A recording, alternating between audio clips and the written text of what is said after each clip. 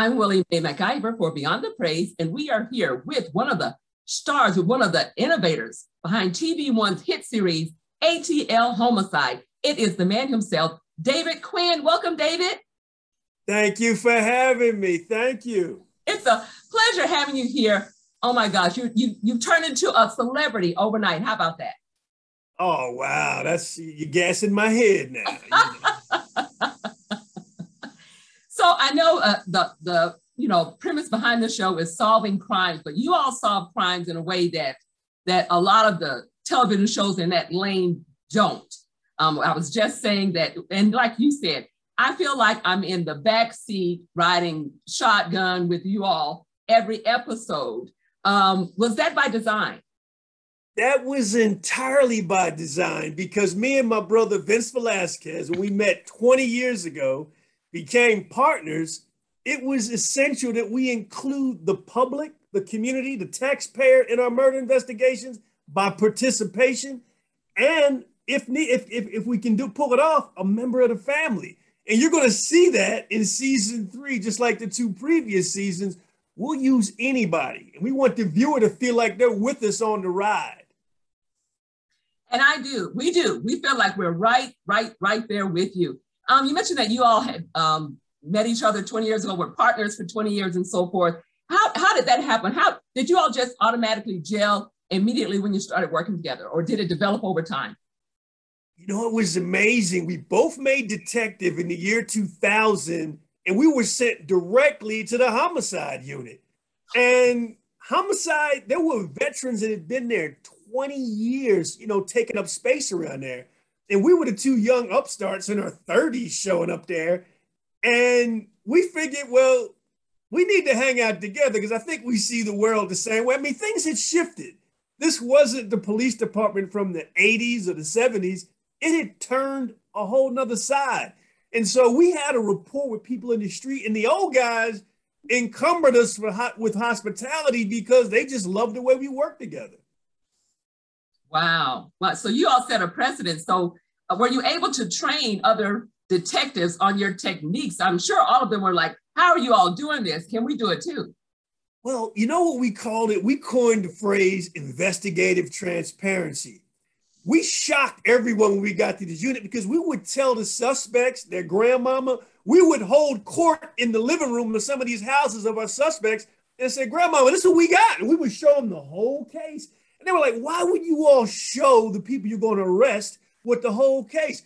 Me and Vince would say, we want them to try to refute this information, prove us wrong. Let's have court in grandmama house and then you know it'll prepare you for what's coming in the future or tell me what really happened out there and it just it got infectious and people expected our transparency and we taped every conversation even the ones when people would tell us it was somebody else so you have to live with that as well again investigative transparency you don't want to get it wrong we're talking about life sentences for our people so you know we let it all out you all tr- you were the judge the jury the prosecutor the detectives, everything else rolled up into one.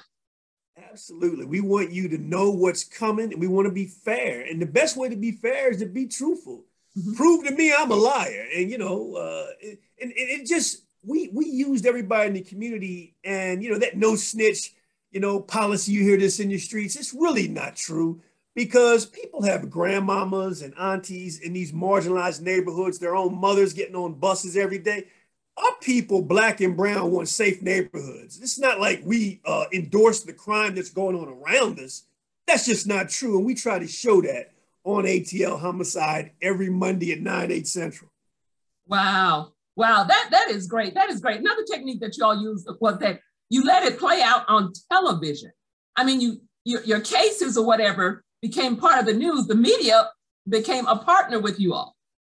You know, and that's what's interesting I don't see that today. I don't see I don't the either. actual detective I don't going to the podium. You mm-hmm. can Google on YouTube interviews me and Vince did press conferences. You can just hit Vincent David press conference. AT, you'll see us actually going to the public, yeah. answering questions from the press. It seems like there's some wall up now that law enforcement has, and you only see the administrators out front talking about what happened in these taxpayers' neighborhoods. Mm-hmm. They need you have a duty to report the good, the bad, and the ugly. Yes, definitely, definitely. In real time, in real time, not after you solved it, because you can't keep police, you know, from having the media come down to headquarters once they solve the case, right. you know, and do the perp walk. So right. when we're like puzzled, you know, have that full transparency because you're humbling yourself to the process. Mm. So this is season three. You all have gone through, you know, two seasons. How do you select out of the many of gazillion thousands of cases that you all have solved? How do you select the ones for the episodes?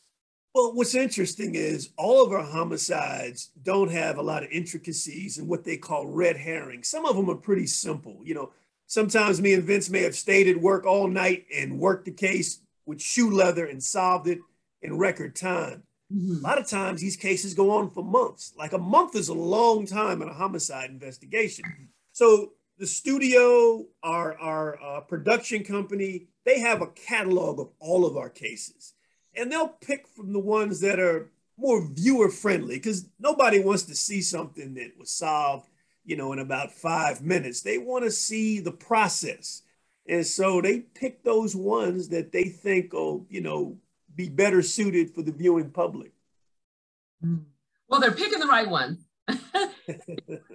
so you all are very instrumental in the production of the show. Are you all like executive producers? Are you on set for all the tapings? How does that work? So the way it works, we help build the story content, and TV One was so nice as to give us producer credit. I didn't even know what that meant. Okay. You know, but we're actually so, so what's groundbreaking about our show to me, you got a black and brown brother talking about police work, in particular criminal homicide, and we're the narrators. So, TV One, they wanted us to speak in our own voices. That was the beauty of this project. Yeah, we're telling it like it really happened, and you're hearing it from us straight up. Yeah, amazing concept. Amazing concept that's that's really working. Is there a particular episode in season three that you can't wait for the viewers to see? Wow, it's it's just so many. Okay. But you know, the, there, there's a couple of the case from last week mm. touched a lot of our viewers because we actually live tweet during the episode in real time, so we interact with the people that are fans of the show. Mm-hmm. Last week's episode was, was was tremendous in that you know, this was a, a, a, person that came over to our country to actually make a change in her life. She came from the Bahamas, and you'll see how innocent she was and how she wasn't part of, you know, any kind of crime wave, which people thought in the beginning because of the way she was killed. But Monday night's episode is a parallel. There are actually two homicides that are going to be investigated at the same time, you know, during this particular episode. It's the murder of a guy named Gary Horning and um, uh, a Latin American transplant to our country by the name of Rosendo Urban. And you're going to see how the paths of these two people that don't know each other come together through criminal homicide. That's what we call murder. It's a criminal homicide.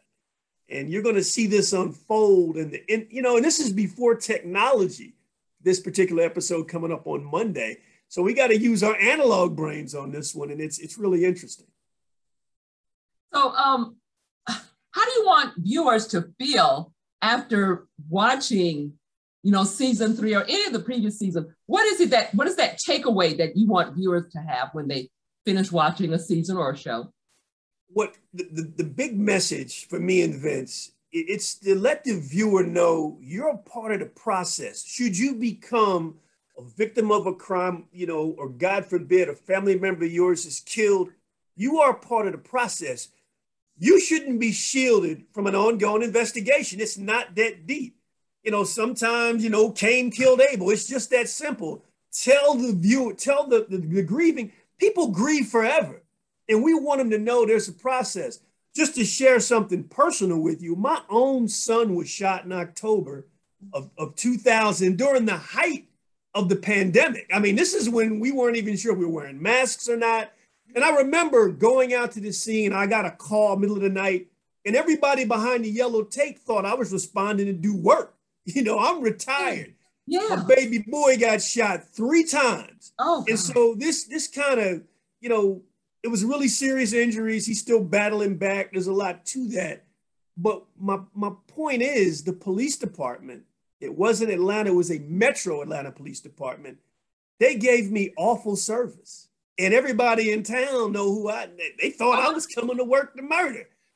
They give black and brown people horrible service across this country, especially when your loved one survives. It's almost like, well, he survived. He just got shot three times and they move it on if there's no clues there. So I had to hold their feet to the fire, and it's still going on. That building is, going to have to burn down until I get my answers. They didn't solve the case. They're never going to solve it. But I want to get some change in the way people perceive our people, the black and brown people. Gun violence is an epidemic right now in our country. And a lot of times the survivors of gun violence are put on the back burner. And I want to I want to give voice and you know to, to that struggle right now. So we wow. address it as our own personal pandemic, gun violence in these black and brown communities. Wow, wow. You know, that that's a whole nother that's a whole nother show in itself, is that's a whole nother show that you all can do. And it's especially with you kind of leading the charge for it because some somebody yeah. needs to pick up that mantle and run with it. No doubt. And we got to recognize as a people, we have our own pandemic. You know, uh, there's talks now that this may be something the CDC needs to look into. We're dying at alarming rates in these really popular cities like Atlanta, Chicago, DC, Baltimore. You know, that's a public health crisis. It is. That, that bullet is our virus. It's killing us off and we need to deal with it because what, what what they've used before hasn't worked. You know, more police, you know, more mechanized police. That doesn't work. We got to study and look at this thing from a different perspective. And I hope to be a voice, you know, in that surge towards whatever our new truth is going to be. I'm sure you will be. I, am sure you will be. Well, we, we are just so excited about, you know, ATL homicide. I don't know what, what's next for you. What else are you working on? You working on um, anything else? Well, sister, I'm working on retirement. And retirement for me is doing anything that doesn't involve handcuffing humans. You know what I mean? So I'm fully retired, but I, I am an amateur writer. So I'm yeah, I'm trying to get a book deal. Straight up, I'm trying to get a book. There's one I'm working on, and uh, I want people to see the nuts and bolts of what really goes on uh, in these investigations. And I'm going to share some thoughtful you know, life experiences through some of these crimes I've investigated and how they cross over into my personal life. So I want to come back on when I get my deal because I'm oh, hoping oh, yeah. to find me a literary agent. I want to come hang out with you and tell uh, people how to get the book. You're going to definitely get that deal. Did want to ask you briefly about the two young men who play you all in the oh, series. Oh, wow. They do an amazing job as well. You know, season three, Angelo Diaz, and you know Angelo Diaz and Christopher Diaz, they are David and Vince. They, they they're, they're us personified. I, am looking at the nuance, and these are professional actors. These they didn't just walk in at the cornfields. These mm-hmm. guys have been working, and they're great actors. And we're humbled. We're humbled by what they're doing, depicting us in our 30s as we approach our 60s now. So, you know, it's it's really a compliment and a kiss on the forehead from these two guys. Were you all um, a part of the process uh, of the auditions to get them? Actually, we weren't, but we met them as soon as they got the job, had dinner uh, down at corporate headquarters for the production company in Tennessee.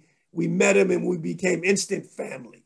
So we love both of those brothers, and we we know they're going to have beautiful careers beyond ATL homicide one day. Yeah, yeah. With all the cases and everything that that you all had to to solve and were a part of how does that how does that attack you mentally physically emotionally? How do you separate the job from your personal life or can you? What's interesting what's interesting sister is that i became a police officer two years after high school. And so at 20 years old i was given a badge and gun and i was sent to these quote unquote marginalized neighborhoods the projects and that's where I stayed, you know, for like the first 15 years. I didn't make detective until 15 years. So I had a wife, I have a wife. for 30 years, we raised six children. And so I really didn't have time to think about what was going on because the police work was my life. It was interesting. It really was. I didn't know anything. I didn't have any hide and shoot pool. I mean, we went to church. We had our children. We it was always busy: soccer, football, basketball. And so now, I'm I'm able to sit back and let some of this stuff wash over me. I'm a lot more sensitive than I used to be. Um, I was always sensitive with my victims' families. You know, those. You know, you always want to hug the mother, grandmother, father that's experiencing the loss, and, and, and get that pain on you, so you can go fight for them in those streets. And so now, as I sit back, I'm like, God kept me because I never have had bad dreams. I've never, I just thought, I thought I was working for God. I mean, wow. I hate to get, get all, you know, uh, emotional with you, but, you know, God uses his people. We're his yeah. tools. And I was a, you know, God put me out there because I loved it. I love serving these people. It was always them first. Uh, they still call me to this day on birthdays of their loved ones lost, on the holidays. I go to their homes. Oh. It was biblical. The whole process was beautiful, even though it was about the, the ultimate tragedy. Well, it, you know what? That was your calling. You were just working your calling. I think you're right. I think you're right. You were, you were, oh my gosh. It has been such a pleasure speaking with you and getting to, to know you. Uh, I feel like I already know you from the show because, like I said, it's one of my Absolutely. favorites. But just to hear you as a person and kind of to hear everything that you went through to get to where you are now. It's it, it's an amazing story, and I'm looking forward to that book. You got to write that book. Yeah, I'm doing it. I'm, I'm about 70,000 words in, so I'm, I'm coming down the downslope. So I'm almost finished. Uh, it's is- pretty raw. You know, you're going to have to like, you know, take a shower afterwards, but uh, it's, it's, I'm not holding anything back. I'm just letting it out. Any words of encouragement for detectives right now homicide detectives who may be listening or viewing this interview? I would say homicide detectives, law enforcement in general, the homicide does not belong to the police department. It belongs to the community that you serve, and it belongs to the families left behind. And uh, if you humble yourself and you win one street, one neighborhood at a time, you're not going to have anything but success. You're just not going. It's you got to love the people you work for. One neighborhood at a time. I like that. That's, That's a it. slogan. Awesome. Let's use it. Let's let's hashtag it. yes, hashtag. Right, right. No Thanks doubt. again, David. Continue success in all that you do, and please keep in touch with us. Thank you for having me. Uh, you're an amazing interviewer. Thank oh, you. thank you. Thank you. I appreciate that. We've been speaking with David Quinn of ATL Homicide TV One Monday nights 9 Eastern. Don't miss it. I'm Willie Mae McIver for Beyond the Praise.